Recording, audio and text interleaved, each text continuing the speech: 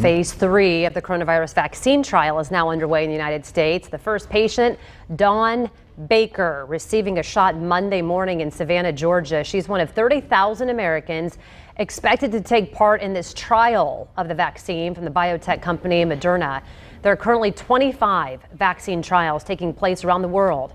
Volunteers will be given a second or booster injection after 28 days. Now, the trial compares the vaccine to a placebo. So you're not for sure, I don't believe, that you know which one you're getting.